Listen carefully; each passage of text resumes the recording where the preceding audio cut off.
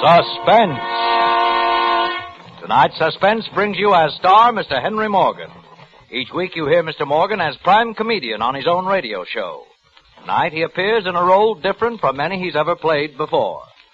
But first, we'd like to remind you that Wherever entertaining is the last word in gracious hospitality, the first name in wines is C R E S T A B L A N C A. Cresta Blanca. Cresta Blanca. That's Cresta Blanca wines. And for the knowing tongue, Cresta Blanca has created two rare California sherries. Dry Watch a delightfully pale dry sherry that's the perfect prelude to dining, and Triple Cream, the magnificently mellow sherry that won the gold medal at the California State Fair. Yes, when you pour Cresta Blanca, Dry Watch, and Triple Cream, you and your guests enjoy the best. Schenley's Cresta Blanca Wine Company, Livermore, California. And now, Schenley brings you radio's outstanding theater of thrills, Suspense. Presented by Roma Wines. That's R-O-M-A. Roma Wines of Fresno, California. And starring Henry Morgan in Dream Song, a suspense play produced, edited, and directed for Schenley by William Spier.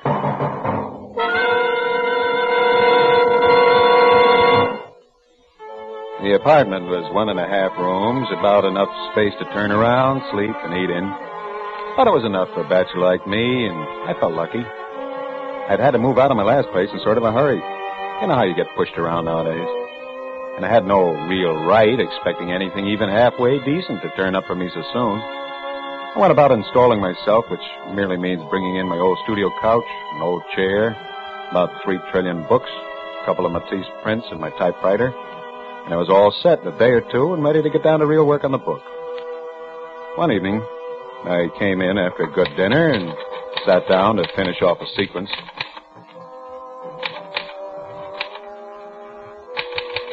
It wasn't writing easy. I felt that I was getting off on a tangent. I was going a million miles away from what I wanted to say, and it annoyed me.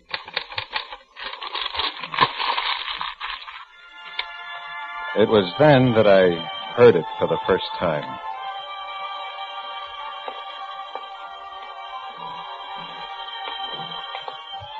It was coming from the next apartment, and coupled with my bad writing, it was very annoying. I tried to ignore it, but that couldn't be done. I got up and walked around the room a few times. That didn't help any. So I sat down and tried to write again. But I was tough, and the right words came like water from a closed faucet, and then the music stopped. And it was suddenly very peaceful. I felt my mind settle down. I started once more. There, it was going along pretty well now. I was thinking clearly. The phrases were right. The mood was good. The dialogue. And the thing started up again. I yanked the paper out of the machine and tossed it into the wastebasket. I was through for the night.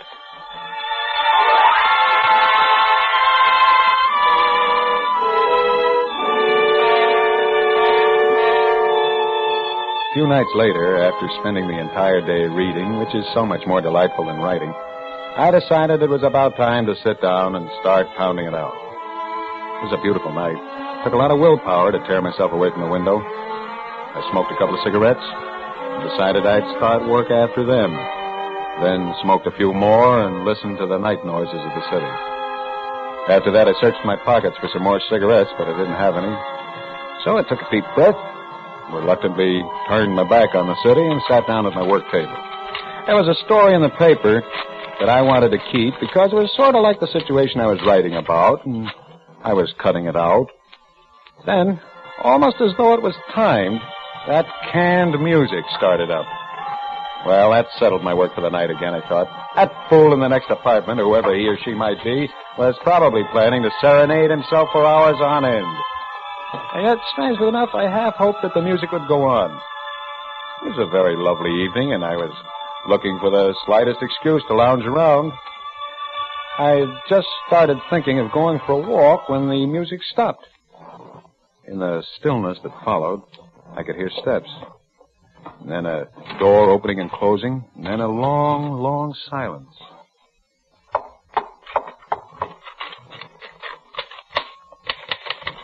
Then I was back at my typewriter, and everything was fine. The words were coming right from my brain to my fingers, and as I wrote, I could see the next line, and the next. And then, while I was working, I became conscious of the next door footsteps, and it disturbed me. I sat up, stretched, yawned, looked at my watch. One o'clock in the morning. I hadn't realized it was that late. Yes? Who is it? It's me, Mr. Kenyon, the janitor. Uh, please open the door. What's wrong? Well, he always come around at one in the morning. Excuse it, please, Mr. Kenyon. Are you I- Charles Kenyon? Of course. What is it? He's from the police station, Mr. Kenyon. Here you are. I'm Sam Fields from this precinct. Can I come in? Come right in. What's this all about? Apartment 4D, Mr. Robson. Why don't been- you shut up? Kenyon, you've been home all night? Yes, I have. What have you been doing here all night? Mr. Kenyon's a Look, writer. are you going to keep your trap shut? Go ahead, Kenyon. Well, I'm a writer, and I've been working all evening. That's about all. You didn't hear no noise, no commotion? No? What's happened? The man in apartment 4D has been killed, murdered. Oh, the floor is all What? covered with blood. Oh, we'll never get it off without scraping. That'll run up a bill, too. 4D. That's two flights up? Oh, he was a pretty good guy, that Mr. Rodson. But he gave me five for We're Christmas. just in here checking up. I don't suppose you knew him. No, I didn't. Well, he must have been killed a short time ago. The coroner's upstairs now. The janitor here heard a struggle and phoned in. Yeah, I live in 4E now. Uh, The owner chopped the basement up into three apartments. Oh, he makes a barrel of money that way, This you see. Mr. Rodson And I- was just about dead when we got there. I'm surprised you didn't hear us go up. I was uh, busy writing. Yeah, he must have been. Oh, all that blood on the floor. We, we'll never get it off. Why, the next tenant will have to paint the floor red, I tell you. How, how was he killed? He was stabbed in the back with a sharp instrument Yeah, some yeah, kind. stabbed in the Not back. a knife, the doc says. It could be maybe a shears or scissors. Well, we looked all around, but we couldn't find no scissors. The murderer isn't giving out souvenirs this week. Well, Mr. Kenyon, I guess you're okay. We may want you to come down to headquarters for a few questions tomorrow. If so, I'll let you know. Yes, of course. You can go back to your writing now. Hey, what do you write? Detective stories? No, about, uh, about people. Yeah? That's who commits the murders, too. People. Although I must say some of my best friends are people. What'd you write tonight? I don't see nothing around. I, uh, I don't like to have people see it, you know, until it's finished. You know, I got a tenant already for that apartment. Maybe that's why the guy was knocked off, so someone could get the apartment. Uh, what about his wife? Oh, 4D's got no wife. Now, I know he's got a young lady, but he he is a bachelor. All right, all right, all right. We ain't Uh, interested in gossip. Come on, let's go. Oh, I'll be seeing you, Mr. Kenyon. Yes. Uh, good night.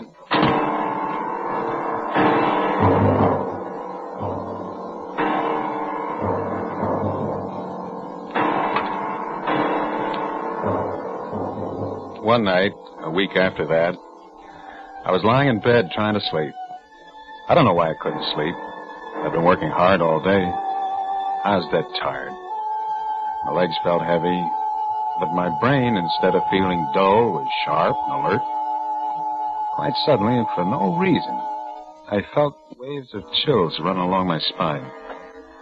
I sat up in bed, reached for a cigarette, looked at my watch. 2.20, and I'd wanted to get up at 7. I snuffed out the butt and leaned back. Somehow, I seemed a bit more relaxed now. I closed my eyes and felt comfortable, tired out. And then there it was again. That music. And I was wide awake again and tense and jumpy as a cat. I don't know why it made me feel that way, but it did. It went on and on. Sometimes it would seem to be fading away. Then it would be loud again. And then fade away. I crouched beneath the covers and drew the pillow over my head. That was better. I could still hear it, but it wasn't so bad. And it seemed to get farther and farther and farther away. And I was so tired. Exhausted by now. I heard that sort of thump from somewhere upstairs. But it didn't matter now. All I cared about was sleep. Sleep. Just sleep.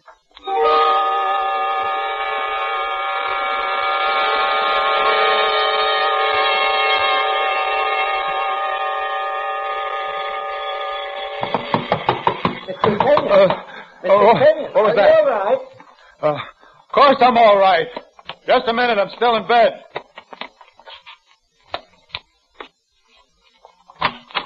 Can a man sleep around here Oh, without I people? didn't know you were sleeping. You always sleep this late, Kenyon? Oh, Inspector, I didn't recognize you. I guess I'm still a little bleary eyes.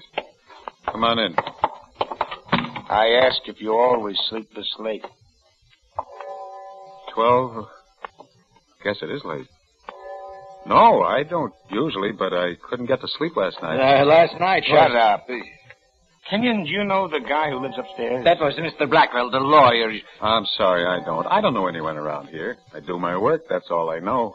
Look, you asked me these questions the last time you were here. Yeah, yeah, yeah, I know, and I'm asking them again. Mr. Blackwell, he's been killed. Killed? Upstairs? Yep, killed the same way. Floor just filled with blood, just like 4D. Well, last night I did hear something. Hmm? I didn't think it was anything then. It was just a sound, like a table or something falling over from upstairs. There was no table falling. What time do you think you heard it? A little while after I went to bed. A little after 2 a.m. Mr. Blackwell divorced his wife five months ago. She was such a nice woman. Coroner says death took place around that time. You didn't hear anything else, did you? What? I said, did you hear anything else? Anything else? Anything else? That music. But I couldn't tell him about that. I couldn't tell it to a detective. Or that terrible feeling I had when I heard it. It would sound silly, crazy. I yes, yes. Did you hear anything else? No, no, I didn't hear anything else. I went to sleep right after that, and I didn't wake up until you rang the bell just now. Mr. Blackwell gave me a ten for Christmas, but he never smiled. He was a very We've sad been checking up to see if oh. everyone else is oh. all right.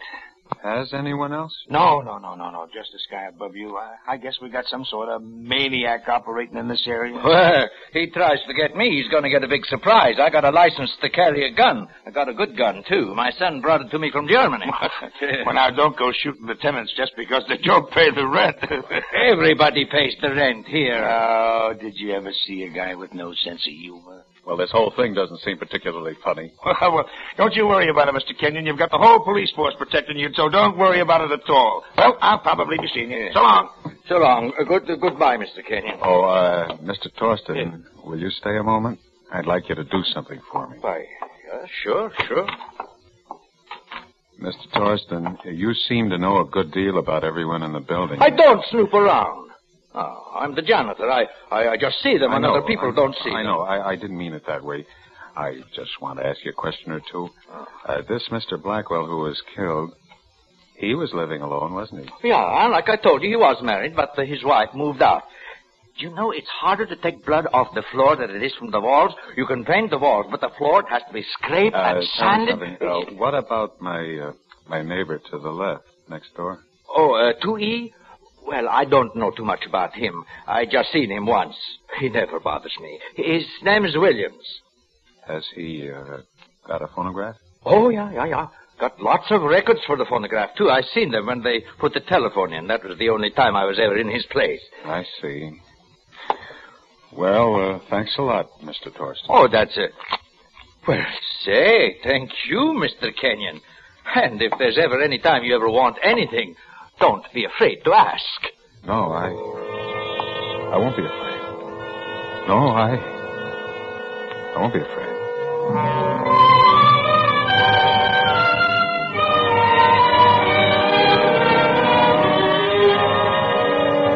For suspense, Roma Wines are bringing you Henry Morgan in Dream Song. Roma Wines' presentation tonight in radio's outstanding theater of thrills, Suspense.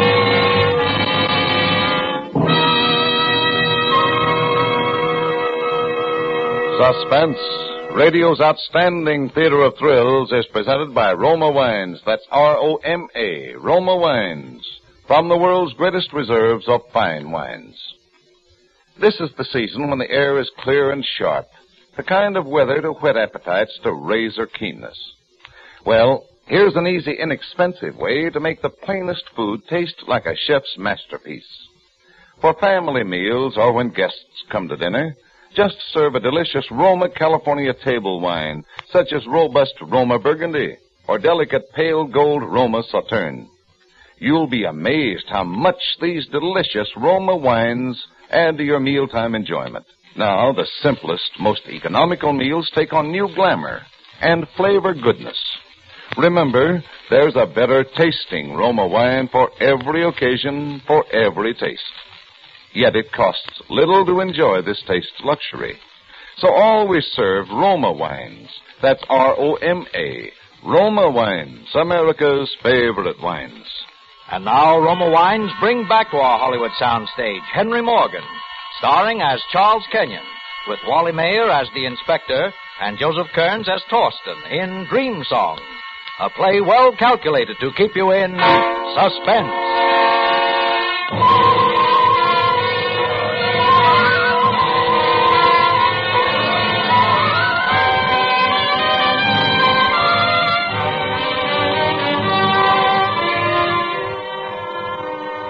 First time in my life, I felt genuinely afraid. Because it was something you couldn't know, couldn't fight. An innocent knock on the door, you open it, the next thing that happens is you're found in a pool of blood. With that intolerable canned music coming from next door. I wondered what that Williams looked like. Living next door. Why should he play that one record over and over again when he had so many? Torsten said that. And I wondered what he sounded like. The house phone.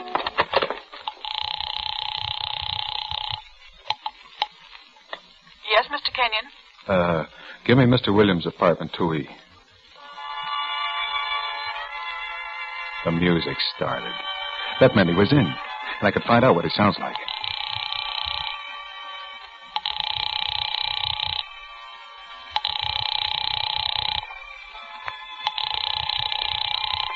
There's no answer. Shall I keep ringing, sir? Why doesn't he answer? He's there. Maybe he knows I'm calling. Maybe he can hear me call. Shall I keep ringing, sir? Well, why doesn't he? Oh, no. Never mind, operator, never mind.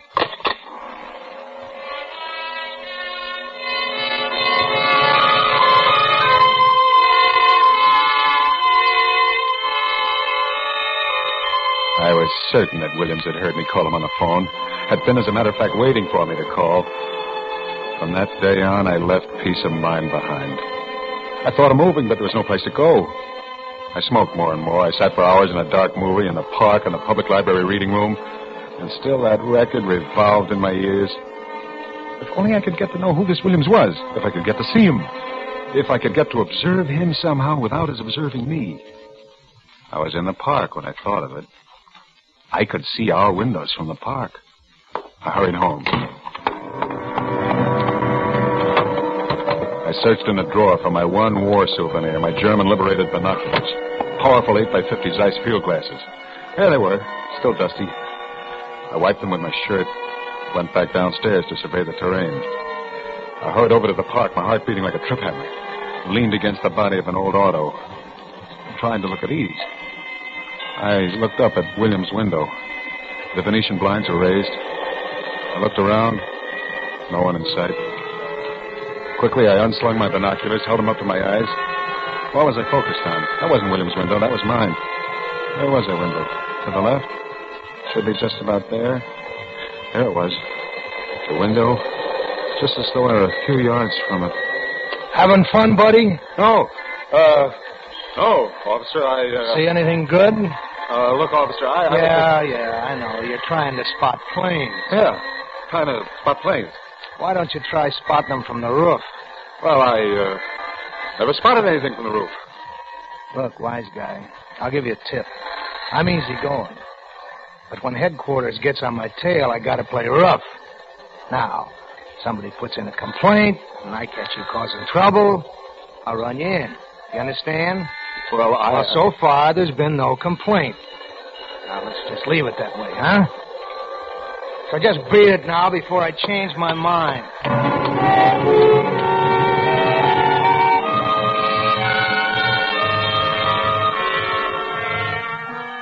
Two days after that, the thought of that cop catching me with the binoculars made me tremble. I found my hand shaking when I lit a cigarette. Couldn't eat. I knew that I must find some way to reassure myself about Williams or I'd lose my mind. One morning, after I'd spent a sleepless night listening and watching, the music went on. My plan was to wait till the music stopped. Possibly then Williams would go out. And as soon as he left, I'd slip out and follow him. I waited while that music ground out, that metallic sentiment squeezed out through a loudspeaker. Nine o'clock. Nine thirty. Ten o'clock. Ten thirty. My head started to go round and round like the record under the needle. Eleven o'clock. The music still kept on and on and on. Suddenly I sat up quickly, looked at my watch. Three o'clock. I'd been sleeping, but the record, it was still.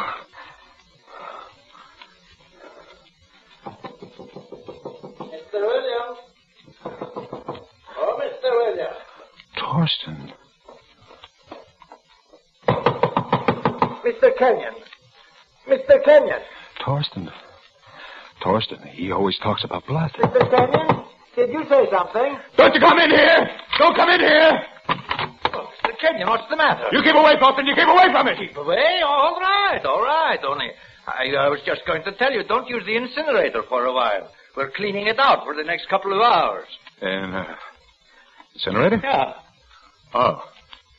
Well, why tell me? Ah, we tell everybody. We don't keep it no secret. Mr. Williams, too? He pays his rent. Only he's not home. I just knocked, didn't I? Yeah, but you came in here with a key. Why? Because I hear you yell like a bull. I thought maybe something was wrong.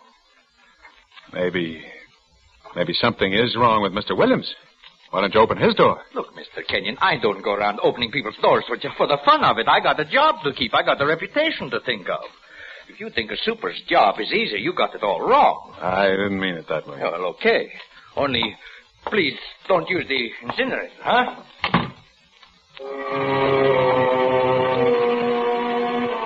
Why did Williams' record stop just before Torsten knocked? Why didn't he answer Torsten's call? He wanted privacy. Privacy to play his record. Every day for the next week, that music played at the strangest hours. It became a personal message to me. I was next. Get ready, Kenyon. You're next to have the floor of your apartment scraped, the walls done over. Many times I thought of calling the police. But what good would that do? No one would believe me just because of a record. No one would believe me without some proof. That was it. Proof, something that would stand up in court before a judge, before a jury. Yeah, but before I could get that, he might creep into this room. Slowly, quietly, while I was asleep, while I was in that bed, helpless as a child. Hour after hour, I walked the streets trying to think, to reason my way out. Yesterday, I sat huddled in a chair all day. The music didn't play at all. About seven o'clock, I went out for something to eat. In the evening paper, there was an item that could be the basis for a good short story. When I got back, I started to clip it out. Then I got my nerves again. I locked the door. I went to both the windows. I locked one window. Then I went to the other one. Wait a minute. This window was the window with the fire escape. Whose window was that on the other side of the fire escape? It was his window. William's window. I stared at it as though I were hypnotized. The light was on. That meant he was home. Maybe I could. Maybe I could crawl out on the platform, peek in through the window. Maybe I could get a look at him. As I was thinking these thoughts, the music sounded. And I started to sweat. Cold, icy sweat. I started to close the window, but I, I caught myself and I pushed it back open. With the palms of my hands wet, I climbed up on the window ledge and I crawled out on the fire escape. And I made my way along the iron bars as silently as I could. And the window was just in front of me. And I felt my throat go dry as I leaned my head over to try to look in. I swallowed hard and tried to keep my body concealed. The Venetian blinds were drawn all the way, but they were slanted in such a way that permitted me to see inside. I craned my head forward and looked. It was dark inside, but I could make out the living room and the phonograph. Large cabinet machine. There was a couch. And there, there was a man. It seemed as though he was dancing, swaying to the music. And it kept getting louder. And he kept coming towards me. Nearer and nearer. Must have seen me. And I couldn't move. And he kept coming nearer, moving in the shadows. Nearer, nearer. When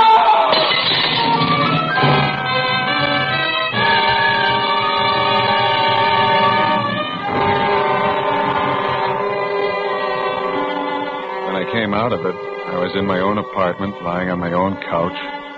And Inspector Fields was there, and a lot of other people. Uh, he'll be okay now. Did you get him?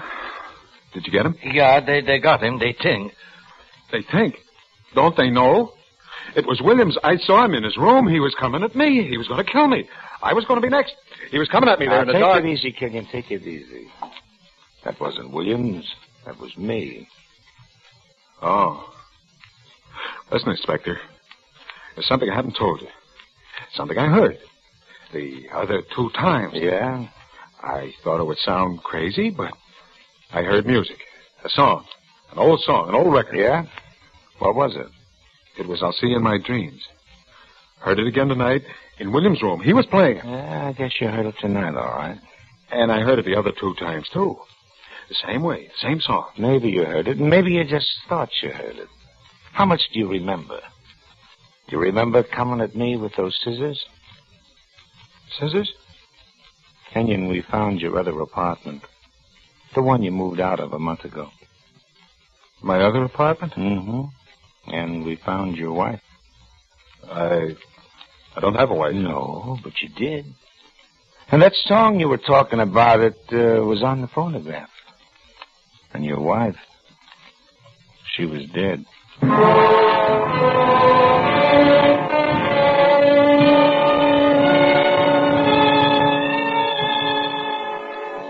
made me talk to a doctor today. Hallucinations, he said.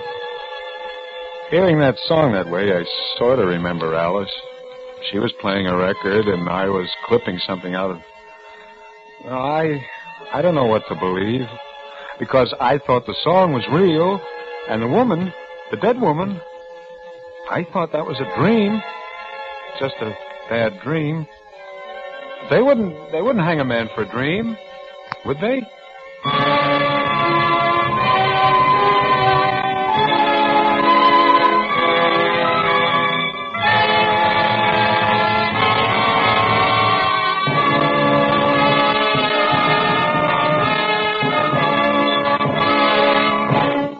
Suspense. Dream Song, starring Henry Morgan, presented by Roma Wines. That's R O M A. Roma Wines, America's largest selling wines. This is Truman Bradley to tell you why Roma wines are America's favorite wines. It's because Roma selects and presses the choicest California grapes. Then, with centuries old skill and winemaking resources unmatched in America, Roma guides this grape treasure to tempting perfection.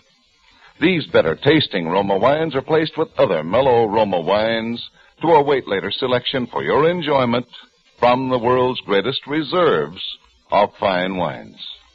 This weekend, treat your friends to the better taste of a fine Roma California wine, such as ruby red Roma port, golden amber Roma sherry, or flame bright Roma muscatel. Discover for yourself why Roma wines, that's R-O-M-A, Roma wines are enjoyed by more Americans than any other wines. Tonight's suspense play was by George Bellac and Ben Kerner. Henry Morgan will soon be seen in his first starring picture, the screenplay Enterprise production, So This is New York, and may be heard every Wednesday night on another network for ever sharp Chic. Be sure to listen next Thursday, same time, to Suspense. Produced and directed by William Spier for the Roma Wine Company of Fresno, California.